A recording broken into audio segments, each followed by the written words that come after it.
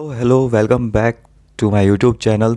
So, guys, there is a company that is really, really trending right now.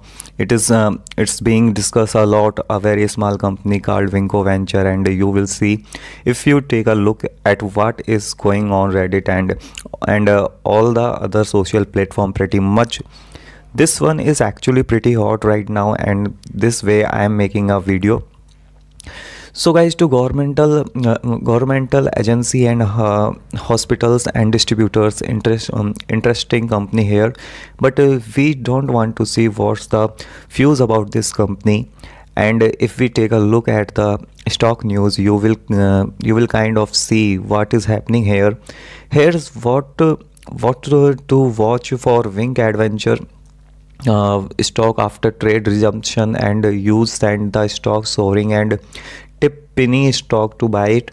Now this is a penny stock pretty much as as nearly a dollar and the stock stores higher as trending. Resume and you will see here uh, we can always take a little bit of a look at the news and see uh, what happened. Vinco Venture negotiated its long-term downtrend which will which we will uh, examine and uh, a little bit later. But hasn't yet confirmed a new app trending is in the stock is in need of longer term sideways consolidation above the uh, dollar one level.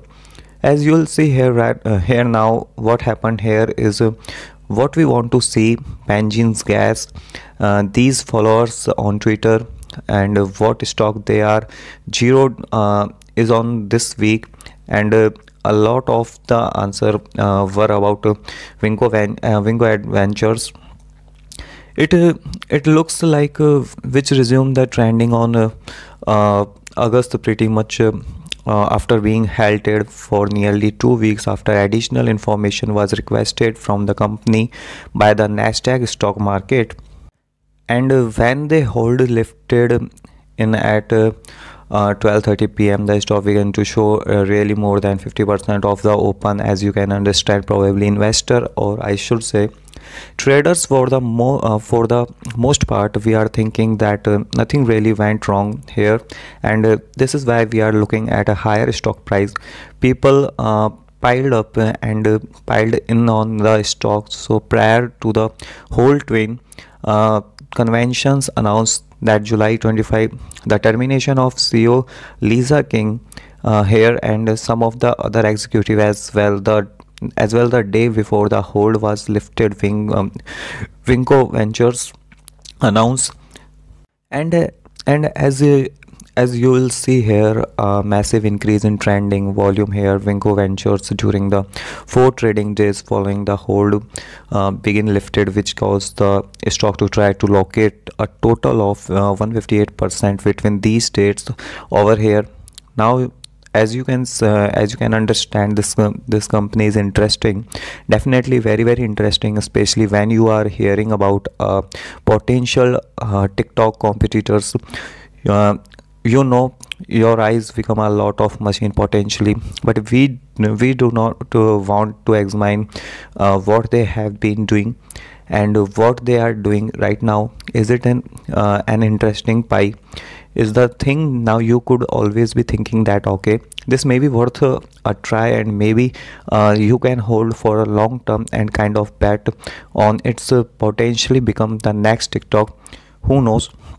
The price of free cash flow are very very negative uh, here and uh, you will notice that uh, taking a uh, taking a look at the net income uh, that they had a pretty horrible year pretty much in 2022 and uh, outstanding sales they have been going going upward because you know as the people were piling in on the stock the company actually thought that is that is a good idea to take some profits and lease uh, you extra sales and uh, make some money off this huge jump over here which makes a ton of sense.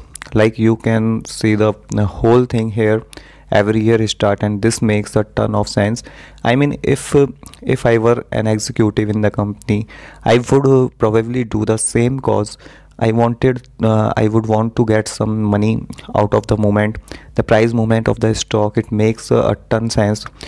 Uh, but it uh, doesn't really invest. So this is a horrible thing as you can understand because the because you know the flow the outstanding sales has been jumping tremendously and uh, it's uh, pretty terrible here. You have been diluted massively.